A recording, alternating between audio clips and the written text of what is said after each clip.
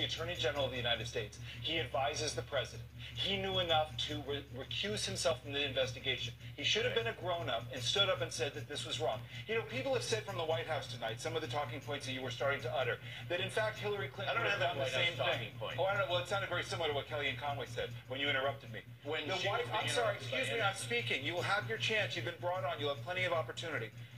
The White House is saying tonight Hillary Clinton would have fired Jim Comey too. I'm sure she would have liked to. I know for a fact there was some discussion of that when she thought she was poised to win.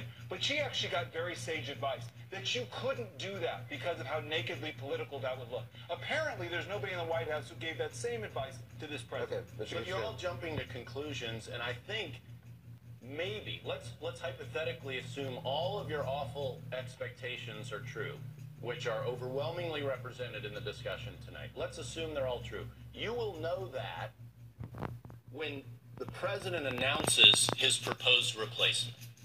That person, in light of all of the concerns expressed here, some of them in a rather hyperventilated way, will be brought into even clearer focus when that person is selected. You know, outrage And- and- you and Level of outrage And- and- were talking no about and criticizing on this panel would have been at the same level if Barack Obama had fired James Comey in the middle of the Clinton email investigation last year. And you yourself, if I remember correctly, were an extreme critic of the way that Loretta Lynch met with Bill Clinton on the airplane.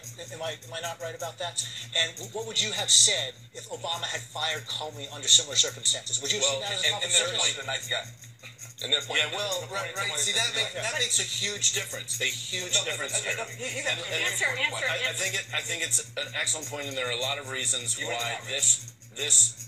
Uh, well, again, it, a lot of it goes into the context and If who you Obama named to had put in that fired position. Comey in the middle of the Clinton email investigation, what would your reaction be?